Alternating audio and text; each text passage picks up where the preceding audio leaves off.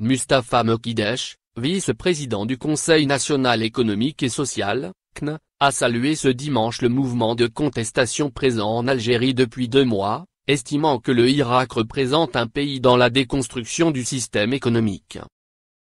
Avec le mouvement du Irak, il y a une double exigence, une exigence de rupture avec le système politique mais également avec la déconstruction du système économique. C'est dans ce contexte qu'il faut voir les opérations main propre, a expliqué M. Mekidesh sur Tsa Direct, rappelant que c'est la proximité au pouvoir politique qui permettait de faire l'argent, et ensuite on a de l'argent donc on peut peser sur la politique. Et une fois qu'on est dans la politique on fait encore plus d'argent. La déconstruction de ce système économique, notamment par l'ouverture des opérations main propre, c'est un pas dans la déconstruction de ce système.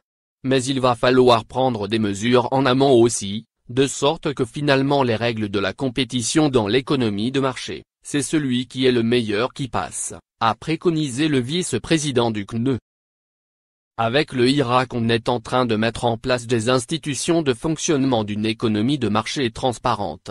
Dans la transparence et le contre-pouvoir, on va voir émerger une classe d'entrepreneurs qui ne biberonne plus à la rente et à la proximité du politique mais à l'efficacité de l'offre qu'elle donnait donc à la sanction du marché, a avancé Mekidesh, affirmant que sans la puissance du mouvement du Irak du 22 février qui fait sortir des millions d'Algériens tous les vendredis, je pense qu'on n'aurait pas pu casser ce verrou.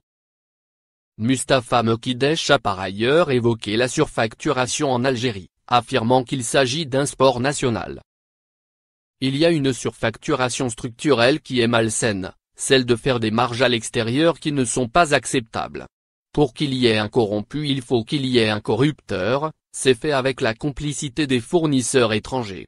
C'est donc en connaissance de cause, puisqu'ils servent d'instrument pour pouvoir assurer cette surfacturation qui n'aurait pas pu être faite si c'était des règles du jeu transparentes, a dénoncé Mekidesh, affirmant en outre que la justice algérienne va se pencher sur cet aspect.